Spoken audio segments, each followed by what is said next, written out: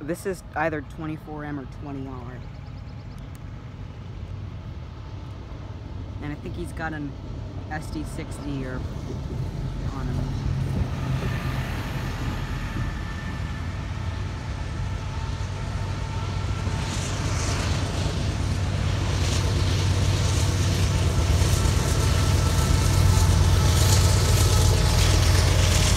SD75M.